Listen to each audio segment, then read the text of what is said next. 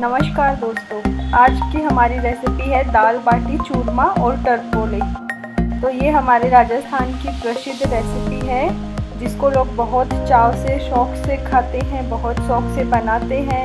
Guest आते हैं तो भी हम दाल बाटी चूरमा बहुत ही शौक से बनाकर उनको खिलाते हैं। तो आज आपको मेरे सासू माँ दाल बाटी चूरमा टरपोले की रेसिपी बताएँगे, जो बहुत ही क्विक बन के तैयार हो जाएगी, बहुत ही टेस्टी बनेगी। ये आप ज़रूर घर पे ट्राई कीजिए क्योंकि बहुत जल्दी बन जाएगी और इतना टेस्टी बनेगा कि आप अंगुलियाँ चाटते रह जाएँगी। तो चलिए बनाना शुरू करते हैं।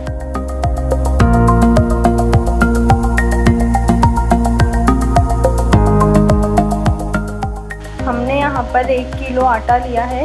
यहाँ पे हमने मोटा आटा लिया है थोड़ा और इसके अंदर 150 ग्राम घी ऐड कर देंगे और घी को हाथों से अच्छे से मिक्स करेंगे, बहुत अच्छे से मिक्स कर लेंगे।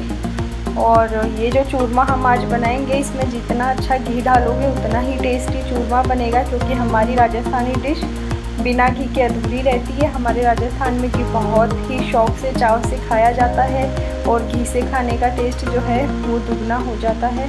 ये देखिए, हम इसमें इतना घी डालेंगे कि वो से मुट्ठी से भन के भन सके। घी तो अच्छे से मिक्स हो गया है। अब हम इसमें थोड़ा थोड़ा पानी डालते हुए और आटा गूंदना शुरू करेंगे। ध्यान रखना है, हमें पानी थोड़ा थोड़ा डालना है। एकदम से पूरा पानी हम इसमें नहीं डाल देंगे, क्योंकि हमको टाइट आटा लगा करके तैयार करना है। क्योंकि चूरमा जो हम बनाएँगे, उसके लिए टाइट आटा की ज़रूरत पड़ती है, इसलिए हम टाइट आटा लगाएँगे। आप देख सकते हो मम्मी ने कितना टाइट आटा लगाया है यहाँ पे। देखिए।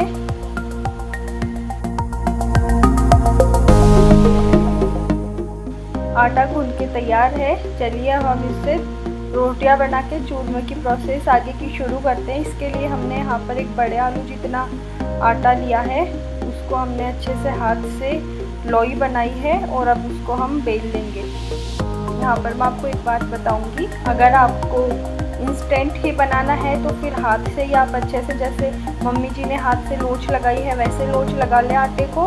नहीं तो फिर आधे घंटे तक आप आटे को सेट होने के लिए रख दीजिए। उसके बाद हम इसकी रोटियाँ बनानी शुरू करेंगे। इसके लिए हम बिल्कुल से मोटी रोटी बनाएँगे एकदम गाढ़ी रोटी बनाएँगे। मोटी रोटी बनाने के बाद इसका हम फोग होती है काटा चम्मच उसकी हेल्प से इसमें हम छेद कर देंगे। इसमें हम छेद इस पर्पज से कर रहे हैं ताकि आ, हमने जो रोटी बनाई है ये बहुत ही जाड़ी और मोटी रोटी बनाई है। ये सीखते टाइम अंदर से कच्ची नहीं रह जाए, इसलिए हम इसमें जगह जगह छेद कर देंगे ताकि वो अंदर से भी अच्छे से सीखे। और इसमें डॉट डॉट करने के बाद हम इसको गरम तवा करके हमने रेडी कर रखा है, इसको गरम तवे पे डाल देंगे और एक साइड से थोड़ा कच्चा रखेंगे, दूसरी साइड से अच्छे से पकाएँगे इसको।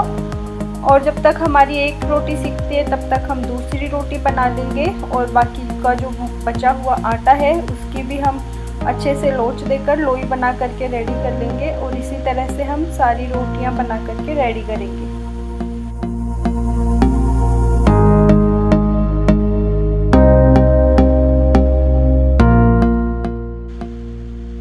देखिए, रोटी दूसरी साइड से अच्छे से सीख के रेडी है और इसको अब हम गैस पे रख के अच्छे से सेक लेंगे धीमी धीमी आँच पे।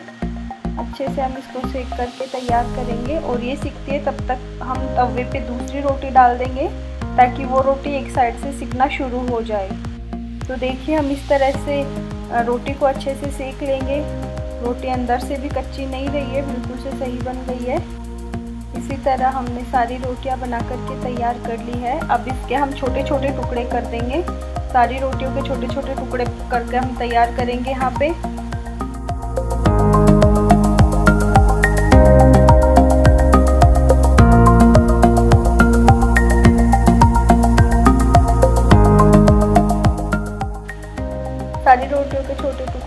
टुकड़े हैं और ये ठंडे भी हो गए हैं। अब हम इसको जार में पीस लेंगे।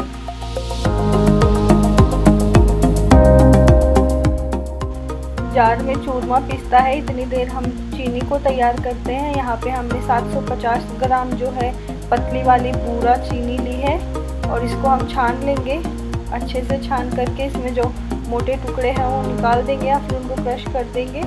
और इसको छानने के बाद इसी चलनी से हम हमने जो चूरमा पीसा है, उसको भी अच्छे से छान लेंगे ताकि वो और भी ज़्यादा टेस्टी लगे। इसी तरह से हमने सारा चूरमा जो है पीस लिया है और छान करके रेडी कर लिया। अब हम इसको हाथों से अच्छे से मिक्स कर लेंगे। और मैं आपको मेंशन करना भूल गई, आप जिस टाइम चूरमा पीसते हैं, उसी टाइम आप जार के अंदर सात से आठ इलायची के दाने भी उसमें ऐड कर दें ताकि वो भी चूरमे के साथ अच्छे से पिस जाए। और चूरमे में बहुत ही अच्छा फ्लेवर दे खुद का। यहाँ पे हमने चूरमा अच्छे से मिक्स कर दिया है। अब इसमें हम आधा किलो घी ऊपर से डाल देंगे। मेरे तो मुँह में पानी आ रहा है इसको देख के। और इसको अच्छे से मिक्स करेंगे हम इसको इसके अंदर घी को। ये हमारा चूरमा तो ऑलमोस्ट बन के रेडी है। अब इसको अच्छे से मिक्स करके हमें बस इसकी आप जिस चीज़ से गार्निश करना चाहे उस चीज़ से कर सकते हैं। आप इसके अंदर काजू भी ऐड कर सकते हैं, बादाम ऐड कर सकते हैं, पिस्ता ऐड कर सकते हैं। आपको जो पसंद हो वो ड्राई फ्रूट आप इसमें ऐड कर सकते हैं। ये हमारा चूरमा तो बन के रेडी है। ये हमारा पार्ट फ़र्स्ट है। सेकंड पार्ट हम आपको बाटी बनाना बताएँगे कि हम राजस्थानी बाटी को कैसे इजी तरीके से बना सकते हैं। तो आप बाटी का जो वीडियो है वो हम आपको डिस्क्रिप्शन बॉक्स में दे देंगे। आप वहाँ से पार्ट टू को देख सकते हैं। तो यहाँ पे हमारा चूरमा बन के रेडी है। नेक्स्ट सेकेंड पार्ट में हम आपको बताएँगे बाटी कैसे बनाई जाती है। अब आप इसके बादाम के साथ गार्निश कर देंगे। इसी के साथ हमारा टेस्टी डिलीशियस मीठा चूरमा तैयार है। आपको हमारे वीडियो पसंद आए तो सब्सक्राइब और लाइक ज़रूर करें। कुछ समझ में नहीं आए तो कमेंट करके ज़रूर पूछें।